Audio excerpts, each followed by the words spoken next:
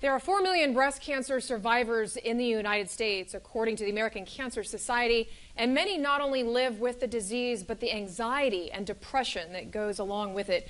During this Breast Cancer Awareness Month, Cristian Benavides shows us why stress management is so important. For breast cancer survivor Isabel Ramos Toca, healing includes tea time.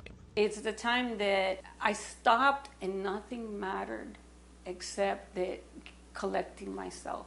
It's one of several strategies she's put into practice after participating in a 10 week study on stress management at the Sylvester Comprehensive Cancer Center at the University of Miami. Here I found a voice. When I'm going to be in a stressful situation, how to catch my thoughts. It really gave me an outlet as to all the emotions. The program for cancer survivors involves support groups that meet virtually.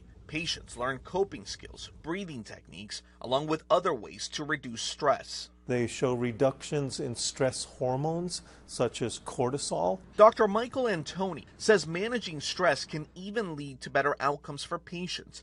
Reducing stress hormones can lower inflammation and produce a better immune response. They have a longer period of time before they have a recurrence and a longer survival time. Every week on Wednesday for an hour and a half, it was like amazing. Toca says the skills she's honing, such as yoga, which she picked up from the program, have helped her regain control of her life.